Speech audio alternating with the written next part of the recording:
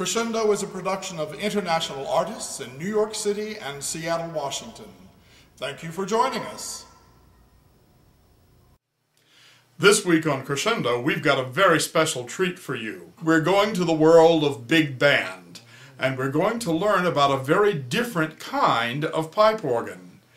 Pipe organs back in the 20s not only were in churches and concert halls, but they were also in the movie palaces of that day, the theaters. So today we are taking you to Providence, Rhode Island, to the Paramount Theater that houses one of the very largest mighty Wurlitzer pipe organs in the world. It has five manuals and over 380 stops. As you'll see here in this photograph, this organ looks like a gigantic wedding cake. It certainly is a work of art, a work of art deco, as a matter of fact. Wurlitzer was the premier company for manufacturing theater pipe organs, and the sound of these wonderful instruments resembles that of a great big band. We're going to begin with That's Entertainment.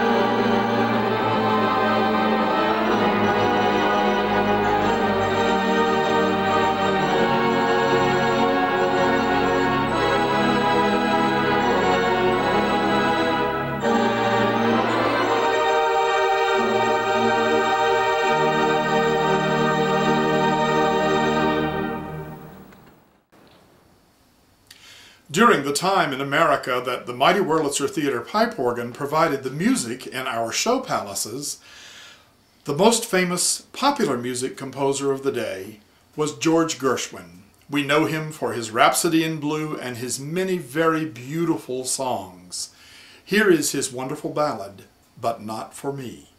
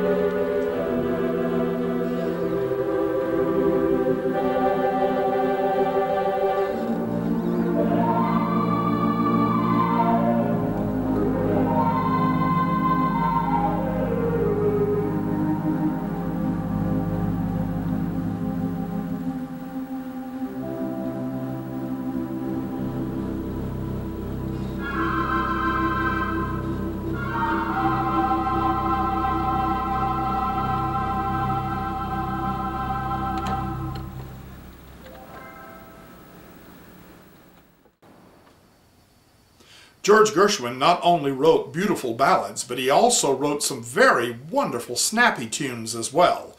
Here's one that's been a favorite for many, many, many years. It's called Swanee.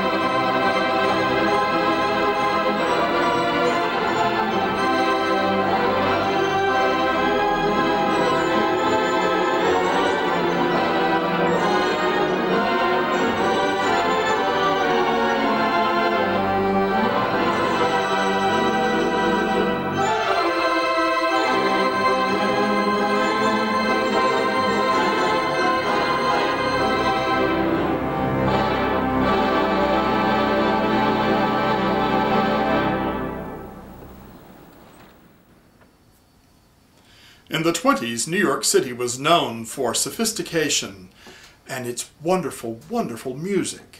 Jesse Crawford was the poet of the organ. He played the mighty Wurlitzer pipe organ at the Paramount Theater in New York City for many years. Here's one of his very snappy arrangements called Hi-Hat.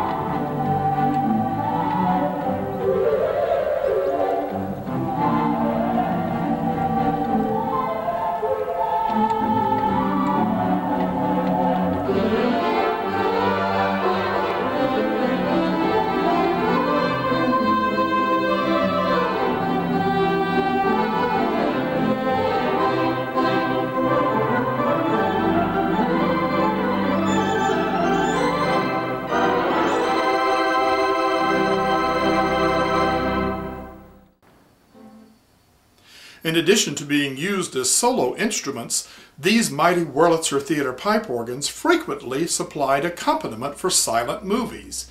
Here's a song that was written to accompany a roller coaster ride on film. I think if you listen to the music, you can actually feel the roller coaster.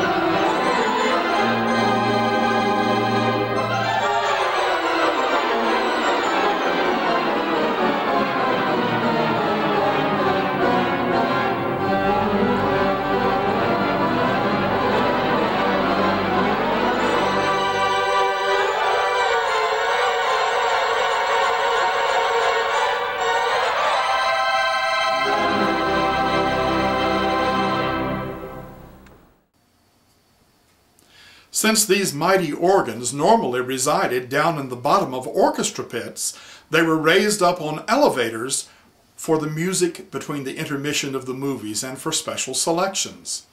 Here we will show you that as we play a wonderful Dixieland tune from the 20s called South.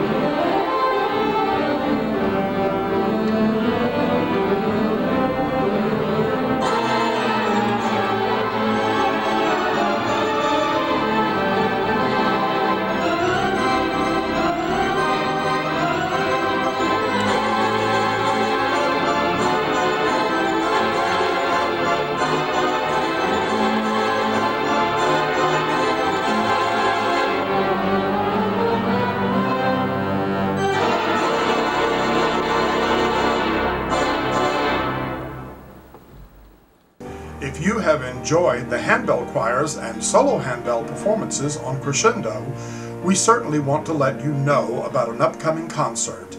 Saturday evening, February the 3rd, the new Emerald City Ringers, Seattle's newest handbell choir, will be performing at 7 p.m. at Grace Lutheran Church in Des Moines.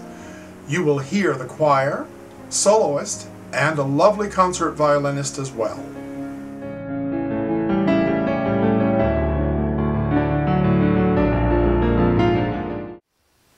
Thank you for joining us on this episode of Crescendo. We hope to see you next time.